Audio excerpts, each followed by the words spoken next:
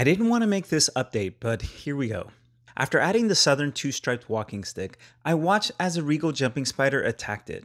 I didn't film what happened because honestly, it was too upsetting. The spider killed the walking stick and didn't even feed from it.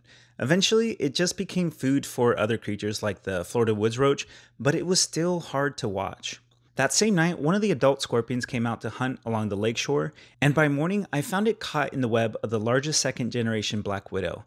These spiders are thriving here, which is fascinating to see, but they've also become a little too efficient for an ecosystem of this size. So I started finding new homes for them. I'm not releasing them back into the wild since they've lived alongside species from the pet trade. Instead, they're going to a friend who's an experienced arthropod keeper, and I'm glad they'll continue their story there. The next night, I found one of the scorpion's offsprings in the same exact spot as its mother. So I think this species will still do well here, but overall, miniBIOTA is about to go through a lot of change.